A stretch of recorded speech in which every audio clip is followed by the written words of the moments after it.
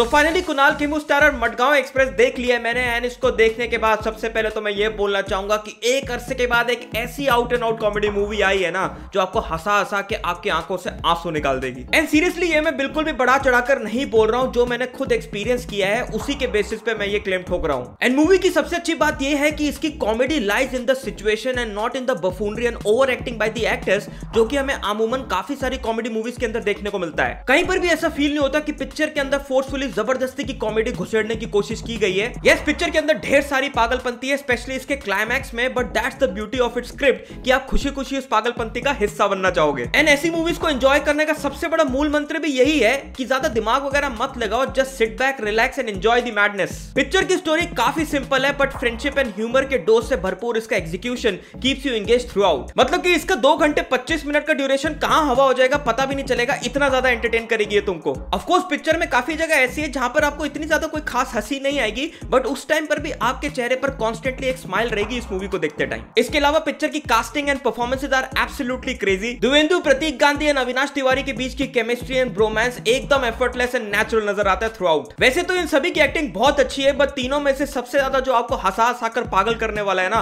वो है प्रतीक गांधी. मतलब इस बंदे ने सीरियसली अपनी वर्सेटैलिटी को इस मूवी के साथ प्रूव किया है. कैम जैसी सीरीज़ में इतना सीरियस रोल प्ले करने के बाद वो एकदम अलग ही कॉमेडी अवतार में नज़र आएगा वो इस मूवी के अंदर। उसके सीन्स इतने ज़्यादा फनी है ना कि जब वो खत्म भी हो जाएँगे ना, उसके बाद भी तुम उनको सोच सोच के काफ़ी देर तक हंसने वाले हो। इसके अलावा पिक्चर की सपोर्टिंग कास्ट भी काफ़ी अच्छी है specially Upendra Limaye as Mendoza is hilarious बाकी नोरा के पास एक बार फिर पिक्चर के अंदर ग्लैमर ऐड करने के अलावा ज़्यादा कुछ खास करने को नहीं था बट फिर भी उसको जितना भी कुछ करने को दिया, उसने ठीक ठाक कर लिया। As a first time director Kunal Khemu की direction is very impressive and जैसा कि हम सब लोग जानते हैं कि कुणाल की खुद की कॉमिक टाइमिंग भी इज़ इम्पेकेबल एंड वो उनकी डायरेक्शन में रिफ्लेक्ट भी होता है कि जहाँ पे उन्होंने इंश्योर किया है कि उनके सारे एक्टर्स का परफॉर्मेंसेस जो है, वो ओवर एक्टिंग में कन्वर्ट ना हो जाए। पिक्चर का म्यूज़िक एंड उनकी पिक्चराइजेशन इज़ स्वीट और दो कई कई जगह आपको उनकी प्लेसमेंट को देखकर ऐसा लगता है कि इसकी क्या ज़रूरत थी बट अच्छी बात यह है कि उनका ड्यूरेशन वहाँ पर कट शॉर्ट कर दिया गया है। तो overall Madgaon express is an absolute fun ride जिसको तुम जितने ज़्यादा लोगों के साथ थिएटर में जाकर देखोगे ना, उतना ही ज़्यादा मज़ा आने वाला है फॉर श्योर एंड अगर आप लोग चाहते हैं कि आगे भी इस तरह की कॉमेडी मूवीज़ बनती रहे तो प्लीज़ इसको अपना सपोर्ट दो, ताकि फ़िल्म मेकर्स को हिम्मत मिले आगे भी ऐसी मूवीज़ बनाने की, वरना एक बार फिर हम सब बैठकर कंप्लेंट करते हुए नज़र आएँगे कि आजकल फन मस्ती वाली मूवी ज़्यादा बनती नहीं। तो आज के वीडियो में बस इतना ही। अगर वीडियो पसंद आया तो चैनल को लाइक शेयर एंड सब्सक्राइब करो यार। मिलते मेरे नेक्स्ट वीडियो में। तब तक के लिए देखते रहिए। खुशहाल के विचार।